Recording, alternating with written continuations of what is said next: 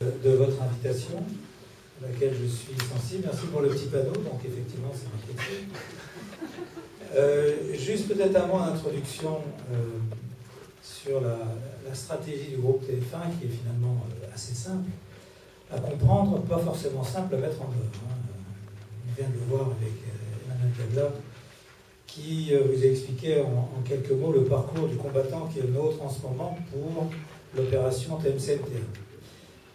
Premier axe euh, stratégique, c'est se renforcer dans notre métier, qui est la télévision en clair. se renforcer, c'est évidemment euh, deux choses.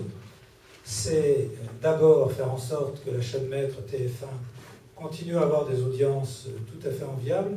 Rappelons, pour ceux qui l'oublient ou qui ne regardent pas d'assez près les chiffres, que nous restons la première chaîne d'Europe et de loin en termes d'audience que l'écart qui nous sépare de notre premier concurrent est aussi le plus important d'Europe et que tous euh, les leaders européens sont des leaders publics. Donc TF1 reste toujours un cas particulier et je m'étonne que dans certains cénacles, on essaye d'affaiblir cette puissance-là puisqu'elle est plutôt euh, positive quand il s'agit d'une entreprise privée qui essaye de se développer et qui crée des emplois, pas seulement au sein de TF1, mais qui est aussi rappelons-le, le premier financier privé de la création française, que ce soit en fiction, que ce soit dans le domaine euh, du cinéma, si on cumule les deux, on a une position extraordinairement importante sur ce marché.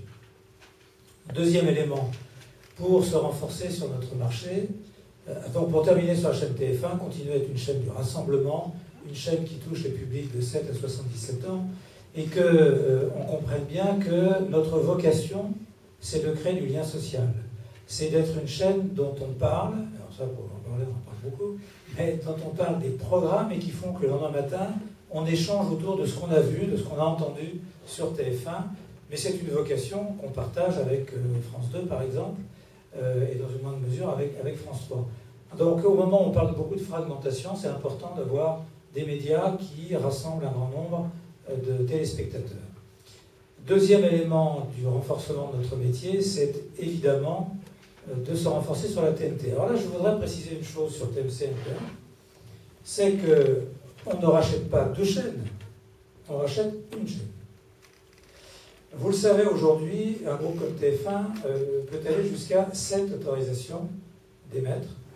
Et euh, TMC, dont nous avons 40% du capital en direct et 13,5% par le biais des groupes Berda, compte déjà pour une autorisation. Donc il s'agit dans le cas de TMC d'une optimisation capitalistique. C'est-à-dire que les efforts qu'on fait pour que TMC soit une chaîne qui aujourd'hui a une vraie personnalité, des programmes estimables et suivis, bah, en sorte qu'on puisse bénéficier un peu du retour de nos efforts. Et donc cette euh, autorisation, elle existe déjà, elle est déjà comptabilisée, ce n'est pas une chaîne qu'on rachète.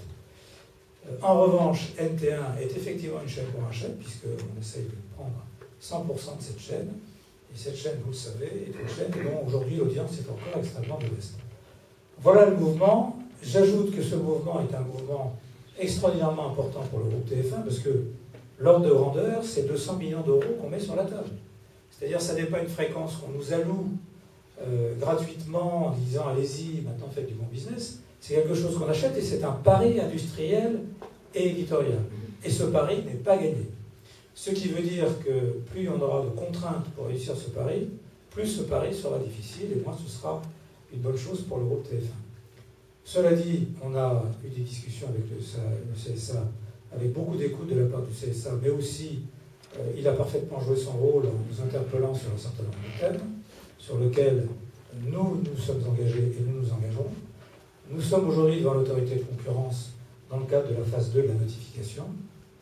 Il y a un premier rapport qui a été rendu, nous sommes en train d'y répondre, et selon le timing probable, l'autorité de concurrence devrait rendre un avis définitif autour de la mi-décembre, date à laquelle on reverra le CSA pour effectivement le fameux 42 Donc ça, c'est pour la partie métier de la télévision en clair. J'ajoute à ça qu'on a un pôle de chaînes thématiques euh, payantes, vous le savez, LCI Eurosport, euh, mais aussi trois autres chaînes qu'on a complètement refondues d'un point de vue éditorial. Il s'agit de la chaîne Histoire, il s'agit d'Odyssée, qui est devenue une chaîne de l'art de vivre et plutôt une chaîne de la découverte, et de Ushuaïa TV, qui est devenue la chaîne du développement durable, avec là aussi euh, un nouvel éditorial très, intéressant. Ça, c'est le premier axe. Le deuxième axe, c'est de prendre des positions fortes sur les nouveaux médias dans le cadre d'une stratégie 360. Et euh, je n'ai pas besoin de revenir sur les chiffres, vous savez que le nouveau TF1.fr euh, est aujourd'hui en tête des sites médias, que le groupe TF1 est numéro un des sites médias. Nous avons aujourd'hui entre la sixième et la septième position de l'ensemble des sites, avec entre 16 et 17 millions de visiteurs uniques, et que nous sommes en, passe de réussir le pari que j'avais formulé il y a deux ans, c'est de dire que le web n'est pas un concurrent de la télévision, mais qu'il peut être un formidable complément, euh, une formidable occasion de synergie entre les antennes euh, de TF1 et les internautes.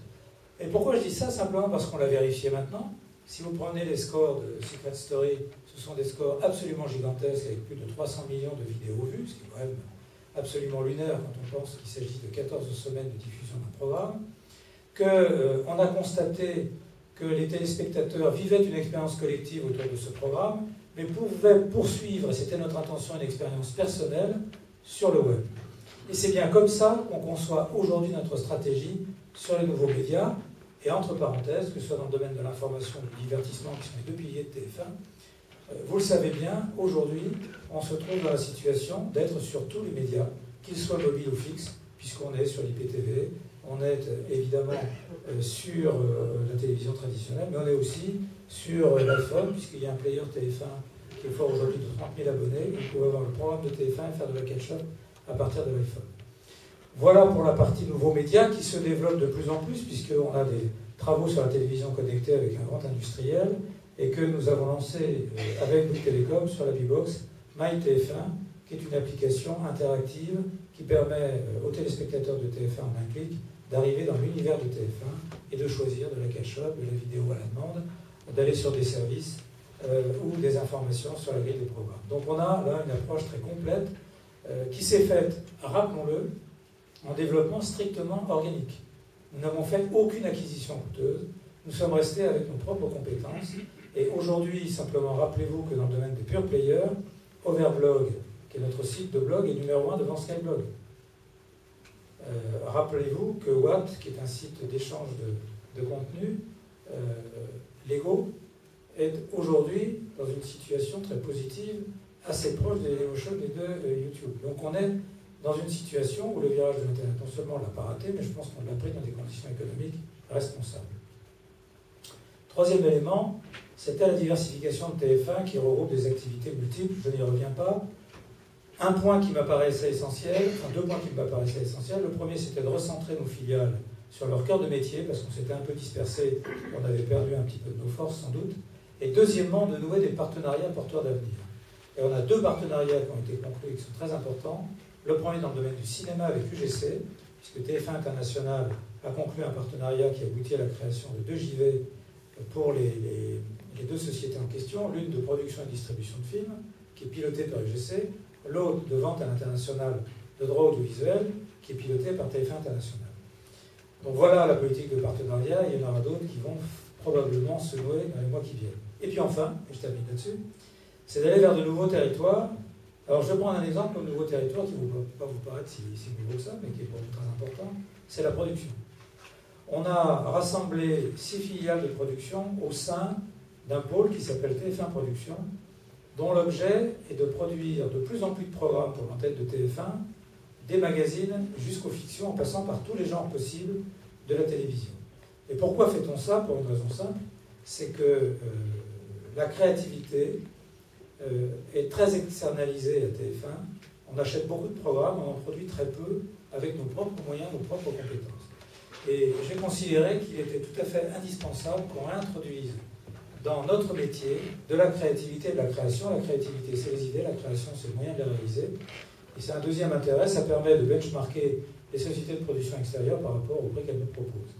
Et TF1 Production est en pleine dynamique de succès avec des émissions comme 50 Inside, euh, euh, Automoto, euh, qu'est-ce que je peux vous citer Les Energy Music Awards, la nouvelle émission Enquête de révélation, pardon La nouvelle émission d'Harry Roselmack, non Voilà, la nouvelle émission d'Harry Roselmack qui va être une émission extrêmement impressionnante, je crois. Enfin, on est là dans un, dans un bouillonnement d'idées qui va profiter à l'antenne.